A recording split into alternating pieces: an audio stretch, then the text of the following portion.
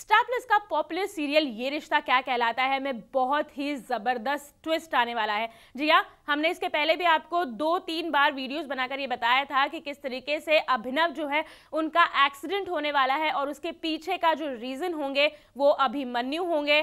तो लीजिए प्रोमो नया आ चुका है, जहाँ पर अभिमन्यु का अभिनव का एक ऐसा ट्विस्ट दिखाया गया है, जिसके बाद जो है कि अभिनव के डेथ का, अभिनव की कहानी जो अंत हो रही है, उसका इल्ज़ाम जो है सीधा सीधा अभिमन्यु पर लगा है। लेकिन कहानी में एक और ट्विस्ट है, जहाँ पर अब जो है अक्षरा प्रेग्नेंट हो गई है। जी हाँ अभिनव और अक्षरा का रिश्ता तो आप जानते ही हैं, बहुत ही स्वीट चल रहा था। बड़े ही प्यारे नोट पर उनका रिश्ता था। अभिमन्यु उनकी लाइफ में आ गए थे, लेकिन कहीं ना कहीं जो अभिनव ने अक्षरा को प्यार दिया था, जिस तरीके से उन्होंने उनकी ज़िंदगी में उनका साथ दिया था, जब वो अकेली थी तो उनका जो एक कनेक्शन था, उनका एक जो बॉन्ड था, उनका एक जो प्यार था, वो काफ़ी ज़्यादा प्योर था। और अब जो है कि अक्षरा जो है, आने वाले ट्विस्ट में प्रेग्नेंट होगी और वो बच्चा होगा अभिनव का। अब तो अभिनव की कहानी खत्म हो रही है, आप देखेंगे।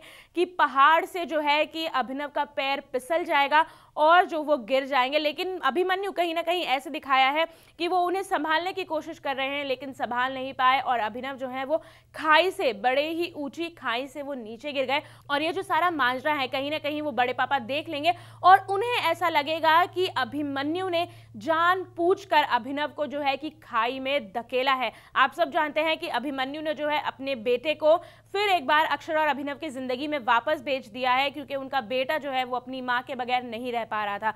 लेकिन अब अक्षरा को जब ये बात पता चली है कि उनके हस्बैंड जो है, अभिनव जो है, उनके इस ज़िंदगी से उनकी ज़िंदगी से कहीं ना कहीं मैं कहूँ, और सीरियल की कहानी में जो उनका अंत है, वो अभिमन्यु की वजह से होगा। तो अब ये कहानी में और कौन से नए इंटरेस्टिंग ट्विस्ट टर्न्स आएँगे, और कहीं ना कहीं फिर एक बार क्या आपको अभिरा, यानी कि अभिमन्यु और अक्षरा देखने के लिए मिलेंगे, और किस तरीके से अब ये कहानी आगे बढ़ेगी? क्योंकि अब कहीं ना कहीं ये कहानी कस्टडी की थी।